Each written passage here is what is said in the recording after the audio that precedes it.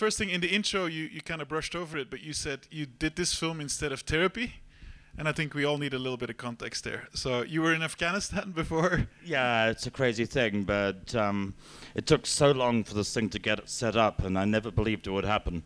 That actually, in the time it took for the script to circulate around and ultimately fall into the hands of fucking Harvey Weinstein, um, I'd given up on the film industry and had um, run away to the um, the Afghan war and had joined the Mujahid. Which is nicer than Harvey Weinstein. It's yeah, much. and one of the yeah, it's a, that's a decision I don't regret. uh, uh, yeah, right in the middle of that, in fact, it was in a, um, a, Saudi Red Crescent hospital. Someone managed to get a phone call to me to say that they were making hardware and um, could I come back and make this this Android movie, which was super difficult at the time because I'd actually lost my passport and my identity, and it was very hard to escape from where I was and get back to uh, to London. But then when I did, I was plunged straight into um, storyboarding and shooting the movie, so there was no real um, transition period between the two, which I think is what um, makes the film stand up. Uh, this is now uh, considered a cult classic, rightfully so. But I'd, I'd, like to talk about how fast and how cheap this movie was made because it looks incredible. The world building is incredible. But can you, t- like, how much time did you have and how much money did you have? I'm just in curious. Six weeks, and it was made for 800 grand, so under one million.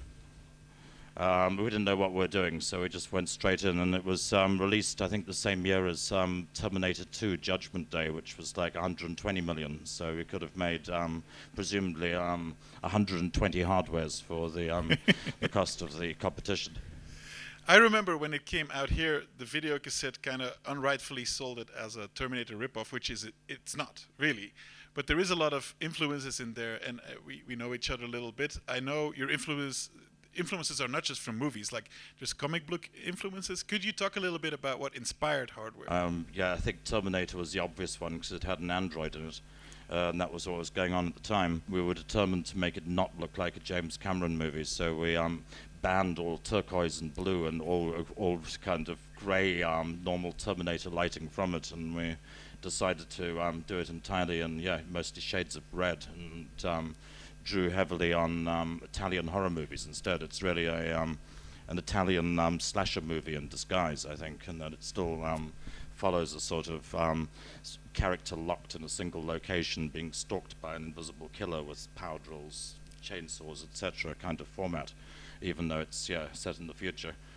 And then um, I guess comic book wise, that goes all the way back to um, the um, Warren comic books, the Creepies, Eerie's, and Vampirellas that were around when I was oh. young, because I think it was those and the um, particularly an artist named Vaughn Bodē who did some of those covers, which um, introduced me to the fluorescent day glow oranges and the uh, the bright, uh, in, insane color schemes, and that and also wanting to make movies that were a fusion of um, science fiction, horror, and fantasy without any real um, generic definition between. So yeah, a lot, a lot of things feeding into it, but really it's also ticking boxes with um, the Mad Max franchise, um, spaghetti westerns. There's all kinds of crazy things in the in the mix. Yeah, uh, I recently discovered the artist Boris Vallejo, uh, the, the the painter, which has this mechanical hand. I don't know if he was a direct influence, but that was one of the things I thought, like, oh, maybe Richard saw that. Clearly not, because you're looking at me with this weird stare. Yeah, I can't so. remember the mechanical hand. I, you know, I'm, I'm, kind of a Frank Frazetta fan, though. Yes, um, Frazetta, sure. kind of imitating, and um, there, there was a, um, there is a Frank Frazetta poster for hardware, which you may have seen. Oh yes, uh, it's great. Yeah, yeah, yeah, yeah uh, which unfortunately was abandoned by it was uh, it was crushed by Harvey and Bob Weinstein, who didn't understand who Frazetta was, and instead they um, released the movie in the states with like a, a close up of Dylan McDermott's eyes and the um, also great. Yeah, but yeah, still uh, it has always saddened me that yeah the Frazetta poster wasn't used. Um, let's see. Uh, uh, I, I had the fortune to work with you on Color Out of Space. We we were side by side there, uh, which was amazing. Way, um, Jonas, in fact, shot much of the best material in Color Out of Space because he was directing the uh, the second unit. So uh, a, a, huge amount of that movie was really shot. Mainly the alpacas. We have to be. Well, that's we not true. all, all, of those trees, the toads, um, so much. Yeah, but you did Nicolas Cage, which is you know the main part of the movie. But anyway. Some, yeah. uh, no, I was thinking I saw you butt head with butt head with with the producers, which always happens, of course. Inevitably. is there stuff in hardware or that didn't make it into hardware where you were? Is there a scene you particularly had to fight for? Because this is a movie full of ama- amazing images and and scenes, but um, it, it can be have. Uh, it wasn't an easy movie to make. I can tell just by watching it. Was there something you had to particularly fight for or fought for? Well, I guess the biggest battle on hardware was right at the beginning to um, cast Stacey Travis as um, as Jill. Um, was an unknown, um, and she'd um, she'd done some television sitcom before on the Julie Brown show. She was blonde and was basically playing a, a ditzy, stupid blonde on a, a TV sitcom, and no, she had no um, cinematic track record to be able to prove she could play the part. And um, yeah, um, Harvey wanted to cast any number of like actresses that I guess owed him favors for one reason or another, and um, uh, and I had to really dig in my heels to um, to get Stacey. That was a, um, a consistent battle at the at the very beginning, and um, And she's I- great. yeah, yeah, I kind I knew she would hold the whole movie together, and in a way she does. It's uh, without Stacey, I think um, hardware would just be a bunch of scenes. So um, that was uh, kind of yeah hugely important. And then um, there, there, were- there were insane ba- running battles all the way through with um, yeah Harvey and Bob. And I should say, I thought Bob was even scarier than Harvey of the two of them. He just kind of snuck off to one side, and no one, no one really noticed he was around. But yeah, um, both of them. And um, yeah, I guess um, they kept wanting to um, wanting to make it more appealing to kids, um, Okay. which never made sense to me because I knew we were shooting like an X-rated or an R-rated movie. So um, they kept wanting more kids in the film. And about three weeks in, they suggested that we should um, get rid of um, John Lynch's Shades character. They didn't like him and Macaulay Culkin or something. no, they wanted to replace him with a dog. Oh, a dog. if Dylan had a had a trained dog, that would. Whoa. I'm okay. I, d- I didn't tell John Lynch the, uh, that, which is obviously insane. Most of their suggestions were, were lunatic. I mean, you can't put a trained dog into a movie two weeks into the shoot on a budget like that. And, uh, so um, much of it was just insane. And then um, they were so insistent on this that they were, that they eventually wrote a bunch of scenes with uh, involving kids. Uh, They themselves wrote whole, a whole subplot of the film, which which was not written by me, which they wanted us to shoot, and I refused to shoot it. And they tore two whole days out of my schedule and um, shot that stuff with another director. Uh, and then It exists, it that exists. Yeah, and they tried to cut it into the film, and of course it didn't work. So all of it ended up on the cutting room floor. The net result is we lost two days out of the schedule, which um, we had so few days at all. Um, the loss of these two days are the reason that um, Alvy the dwarf does not get his head caught set on fire uh, and does not get caught in the metal shredder, which would have been a full day to shoot. And I so wanted to feed the dwarf into the metal shredder. He was meant to uh, cat, get I know how you love to do that. so we lost that. It was very unfortunate. His body's just lying on the ground, and we never find out what happens to him. And, and um, yeah, Vernon, the younger security guard, was also destined for something much more painful. And again, it would have taken a whole day to do that to him. So those two deaths had to be pulled out of the movie in order to make room for the utterly useless scenes that uh, yeah Harvey and Bob Weinstein shot. Have you ever seen that footage of the kids? Yeah, it, it floats around somewhere. It's just it's it's kind of a subplot with um, Mo um, getting beaten up on by a gang of kids in the in the foyer of the building, but it doesn't work for for pacing reasons because it just doesn't cut into the rest of the narrative in a a coherent way. So children are beating up the hero of hardware in those scenes. Pretty much, and he beats them up, and it, it, was it was slackly directed. I wasn't directing it. I watched from the sidelines as they did it. It was much more over into a sort of um, Mad Max territory. Oh, I see. Yes. Uh, uh, um, there's apparently a Godard quote where he said that uh, everything you'll ever do in your career is already apparent in your first movie. And rewatching this uh, now, there's a lot of shots that uh, I see popping up in your career. Like there's a little things, like there's a, a, close-up of a of a compass that's also in Color Out of Space. Um, yeah, every single film I've ever made has a close-up of a compass that falls on my credit. What, what do you mean? It always falls on the directed by credit. Oh, that seems intentional. Yeah, it's intentional. It's in every, every single thing I've done so far. The compass is always off, which is to try and show people that that, uh, that it's the direction is all over the place. I see. Uh, but also an overhead uh, shot of a, a woman being terrorized by a creature. That's in Color Out of Space as well. That's in this movie. Yep. Uh, it's all these images that keep coming back, uh, which you know.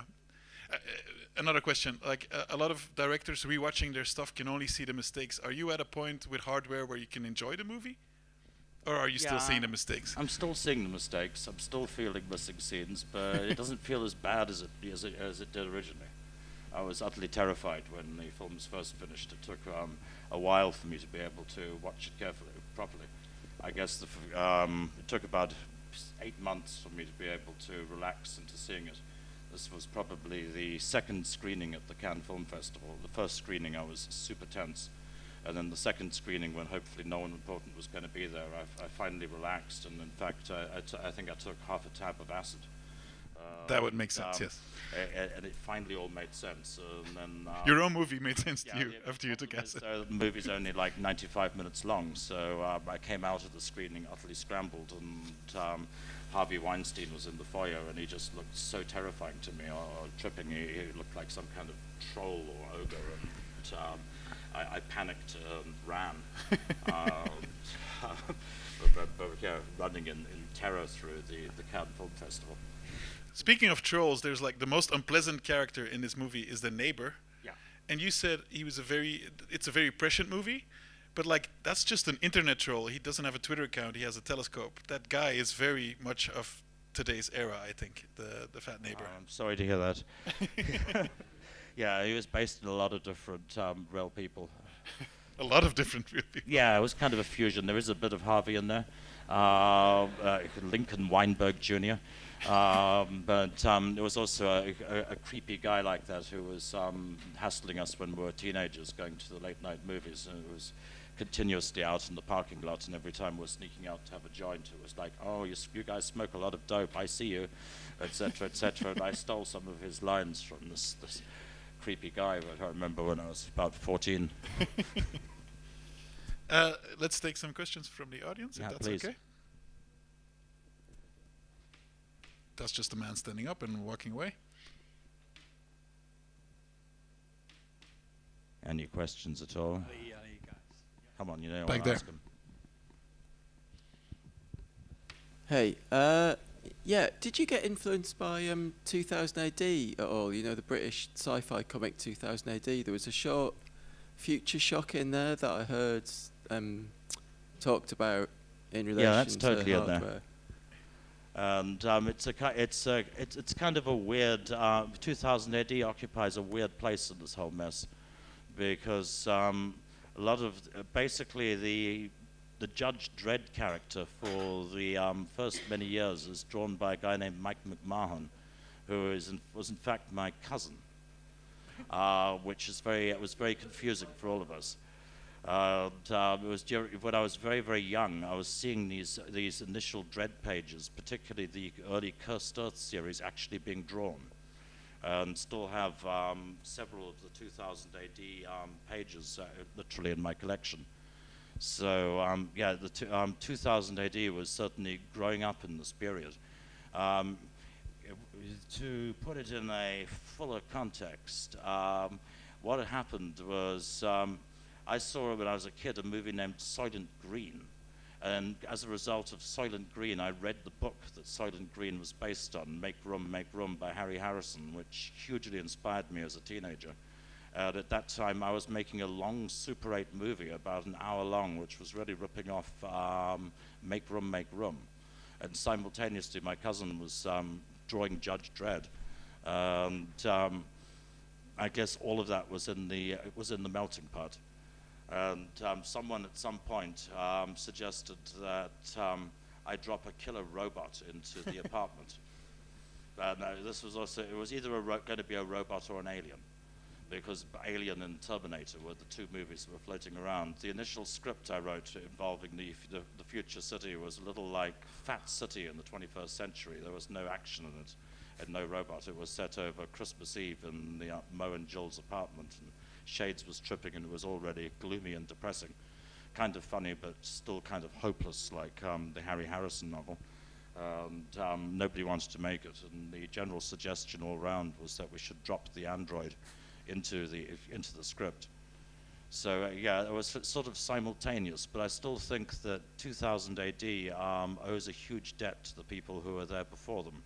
Like um, the Cursed Earth strip, I remember was that was happening round about then, was really knocking off um, Roger Zelazny's Damnation Alley, the novel um, pretty much beat for beat, and someone really ought to shoot um, Zelazny's um, book one day because it's fabulous. No relation to the awful movie they made from Damnation Alley. The book's great. So um, yeah, um, Dredd had its influences, and right now I'm also very interested in um, a, Dan O'Bannon Moebius comic book, The Long Tomorrow which I don't think has gotten its due. It's um, arguably the first time I've, I've seen a, um, a future city um, like Megacity 1 or the city in Hardware or indeed um, the city in Blade Runner. We, have to, we can't forget that Blade Runner was a, a massive influence at that point as well. On you as well, like the, yeah, the scenes on, of Mo arriving seem very uh, Yeah, on, I think on me and on, on everyone. I mean, I think everyone was, it affected everyone's hair for about three years. Anything else from the audience?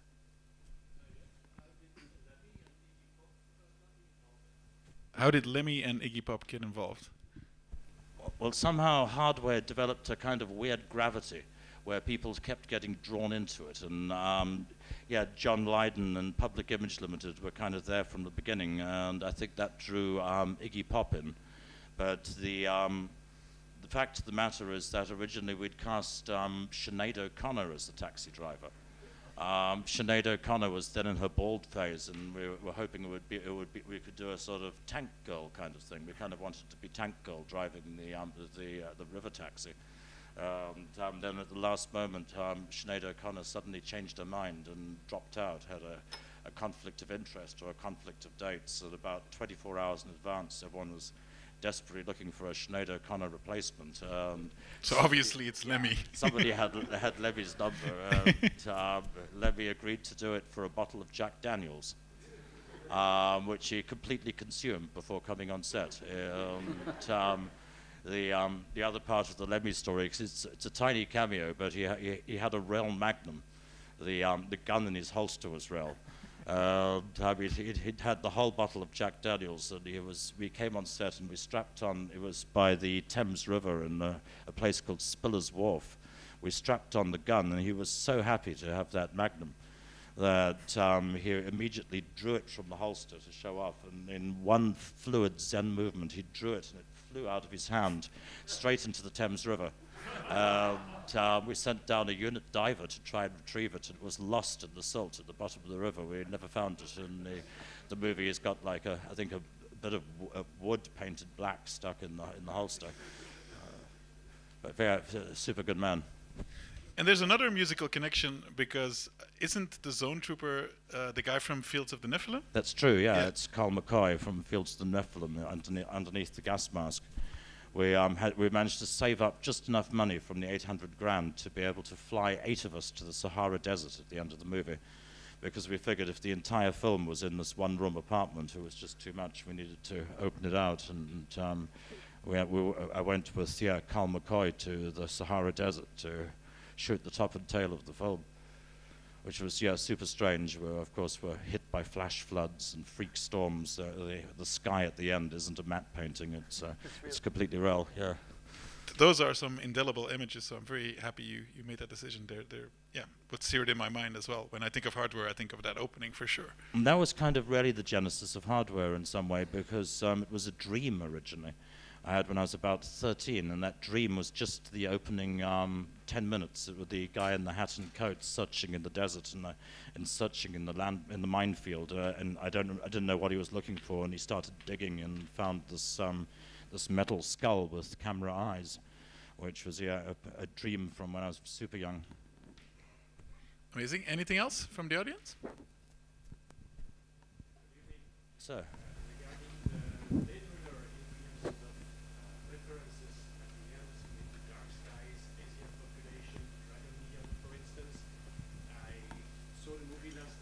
very long time ago, I remember the desert scenes were so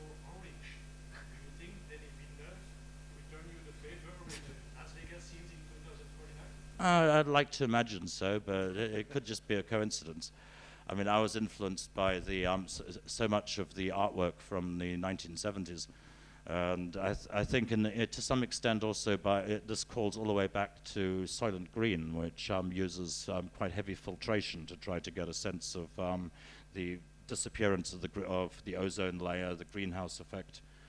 But yeah, I would like to imagine so.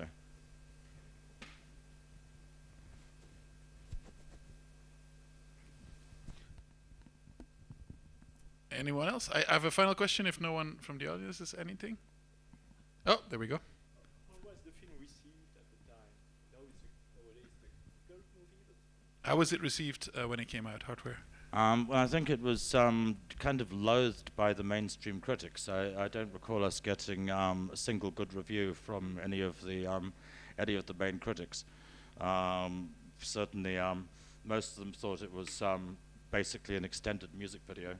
Um, I remember um, a guy called Steve Jones, who's the um, the guy who runs the FrightFest, right? Yeah, No. one of them. Yeah, Yeah. was at a party afterwards, um, literally coming up to me and shoving me in the chest of his finger. He was very drunk, saying, "You know what you are? You're a failure. You're a fucking failure. That's what you are." The the um, the um, response initially was pretty rough, um, but the, the the two that really lifted it out of that was um, Fangoria magazine, which gave which said it was film of the year, and Fango gave it a lot of coverage. And the first really good review we got was from um, Joe Bob Briggs, who gave it um, a yeah, really great review, and um, that was when it started turning around. It was kind of the uh, yeah the American um, gore um, horror scene that I guess um, responded to Hardware, and that was also because Hardware got an X rating when it came out. The X rating still Nice. existed, and it was one of the last films to receive an X rating because it was it, enabled us to um, do a huge um, campaign of going around um, cable shows and radio shows and campaigning against the X rating. And um, I think the X rating got it more attention in America than it it might have gained otherwise. Anyone else? Hey, hey. Uh, I'm wondering how did the Indian divinity image, like how did that get into there? Like, what's the symbolism behind it? Yeah, the destroyer. Yeah. Well, on some level, the droid kind of wants to be Kali or uh, wants to become the destroyer god. So yeah, Yeah, there's, okay, there's, yeah. there's an aspect Mm. of that for sure, and it's uh, it, it, has that multi-armed qua- um, quality, especially when it gets onto the console. It feels like it wants to be a kind of a living icon or a um, a living altar. And um, yeah, I wanted to um, really, um, I guess, also um, try to do Mo's death um, as a kind of a first-person experience. And um, there was a sense of incorporating the the Tibetan thangka. And um, we were very, very cautious with that because we were frightened that if we mispre- misrepresented it, it might bring terrible bad luck on the production. So I recall we were very, very careful with the colors when we did the the low resolution black and white uh, um, prints for the dubbing process. We had to make certain that the Destroyer God shots were in color and in proper resolu- resolution. Uh, we treated it cautiously. I can say from first-hand experience, when Richard makes a movie, magic is real as long as they're shooting. so you have to be very careful about demonic forces and stuff like that. So Yeah, that's 'cause it can blow back at you pretty bad. Tibet- Tibetan what? It was a Tibetan thangka. Thangka. Yeah, so it's a religious, it's a bit of religious artwork. Uh, it was, it was in fact painted by um, Graham Humphreys. yeah. Yeah. Who's um, uh, who's on the credits as a storyboard artist, right? yeah, Yeah. who's also also storyboarded the movie and who um, who is really in, in real life the guy who painted the original posters for Evil Dead, um, Nightmare on Elm Street. Elm Yeah, Incredible artist. Yeah, yes. a- an, incre- an incredible poster artist, but he really wanted to um, express his um, his Buddhist views, and um, thus created this uh, uh, this incredible thangka for um, for Shades' bedroom. Yeah. Yeah, I'm really impressed by the symbolism and like, uh, there's a lot behind it. Really impressed. Yeah, and it was kind of pulling that together with the Mandelbrot set, where the, all that fractal stuff was um, very, very fresh in um, '89. In fact, at that point in time, Hardware does the very first, the, the trip sequence does the very first move into the um, Mandelbrot set anyone had done at that point. We had to, gen- it took about a, I don't know, two, three days to generate every single frame of the thing. And um, yeah, all of the crude um, computer work was, I think, done on a school computer. I it's worth noting that we were all incredibly young at that point in time. The average age on set was um, 16. That's Um, illegal, Richard. Right, oh, that's true, and, and I have to say that the the best of our gore boys, the kids who were doing the gore work, um, was in fact Chris Cunningham, who went on to do the Aphex Twins videos. But Chris was, um, we called him Little Chris. Is he credited on the, on the movie? Um, it's credited under his real name, but I Okay. can't say what that is. Okay, that's Uh, fine. check the credits. Um, but yeah, Little Chris, um, who went on to do the Aphex videos. He was 15 years old on hardware. and he would work on Judge Dredd not much later, right? Yeah, yeah. and before you worked on hardware, although you were still only 15 at the time of the shoot, he'd already been on um, on Nightbreed and on Clive Barker's um, Hellraiser, and he'd already been on um, I think Rawhead Rex. So he already had a track record by Jesus the time he was 15. Um, from hardware, he managed to gravitate onto um, Stanley Kubrick's AI while Kubrick was still alive. Um, that experience was so horrific that that's when he decided he was going to start directing for himself. It was just, uh, yeah, I think he was on AI for about one year before Kubrick died, and it was just too much for him. So it's just one step to Kubrick, to Chris Cunningham. So that's clo- how close you are to Kubrick, really. Yeah, um, I don't know, Ben, but I know that um, little Chris turned 16 in the course of the shoot. He had his 16th birthday on, on the shoot. Um, I remember he was complaining because we were working him too hard. And, um, so I told the um, the set security guy to physically pick him up and carry him out of the building. And throw, he, uh, the guy threw him in the skip outside. That was, that was his 16th birthday. But yeah, we were all very young, and that's how they got away with um, paying so little for the movie. We were all very, we had to put a lot of energy into it. And yeah, I guess it, it pays off because at least I'm still alive now and yeah, not as old as I might be. Uh, uh, final question from me. You, you've teased uh, a few times to me a potential sequel to this movie called. Can I say the title? Yeah, you can. Uh, called Malware, right? Oh no, you got it wrong. Oh. Uh, yeah, So I shouldn't have said it. there is a movie, there is an unmade produced script called Malware Yeah. set in the same world, but it's not a sequel to Hardware. Oh, okay. There is a Hardware sequel script which has been officially called Hardware 2 Ground Zero for years and years. It was like Droids 2 Earth Null. But um, th- yeah, this was written about one year after Hardware, and um, it's been trapped in legal hell ever since. For the last 30 years, we've been trying to um, get the rights to actually um, do the damn sequel. Um, hardware, thanks to the involvement of yeah, Evil Harvey, um, is at this point in time very hard to find. Um, there's no one really, I think, uh, in Europe who will even own up to owning it. um, and um, trying to get the rights to um, to even make a T-shirt or a um, to to produce a droid um, model or anything. It so far has been impossible. We've been unable to create merchandising for it. I'm very much hoping that before I die, we'll finally be able to overcome the um, the, the nightmare um, web of legal issues left behind by Miramax because the um, the Hardware 2 sequel script is, I believe, the best thing I've ever written. I wrote it about uh, uh, pretty much that same year, and it retains the um, the same energy as, as Hardware, but I thought it was going to be more expensive, and I, I wanted to top the original. So i i it's brutal um, beyond belief, and also um, takes the um, the, the, the droids in a direction I don't think anyone else has foreseen. I remember we had a drone on Color Out of Space. It went up into the sky. You pointed to it and said, "This might happen in hardware too." Flying, flying robots. Is that is Yeah, that a spoiler? A, little, uh, but yeah, the main thing in the Hardware 2 script is they're mass-produced and they're weaponized. And uh, this one's not weaponized; it's in pieces. And um, they're um, yeah, not only weaponized, they're also um, operating as a team, and they which they're capable of. Um, yeah, fully remote action, and they're capable of yeah adjusting to their environment. But they also can be overridden, by, obviously, by a, a, dro- a droid or a drone operator and I was very interested in how you'd get to be a, a droid operator and who these people would be. So I, I figured they were going to be teenagers who were trained up on um, droid simulation software.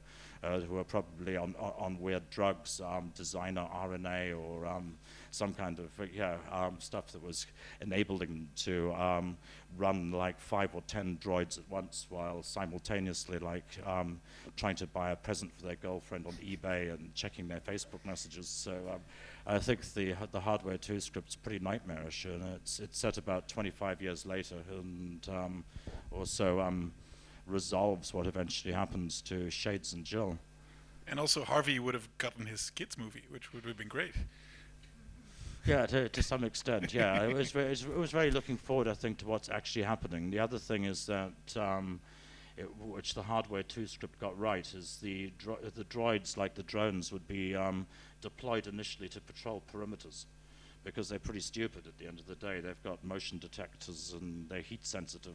They're not that smart. So I figured the first place you'd see them would be um, like on the containment wall between Israel and Palestine or um, on the Tex-Mex border where there's um, yeah, thousands of miles of desert and places which human beings don't want to have to patrol. And I also figured that um, no one wants to see um, uniformed human soldiers actually killing people or killing Mexicans on um, American soil, so it makes a lot, lot of sense to use drones, um, to use drone soldiers. So I'm not at all surprised that, now, that DARPA is now suggesting that they should um, yeah, deploy dr um, drone soldiers on the on the Tex-Mex border. It seems um, kind of almost a sickening inevitability.